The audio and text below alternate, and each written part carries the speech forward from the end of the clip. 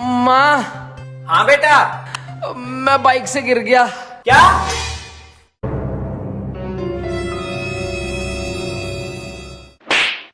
और तेज चला बाइक।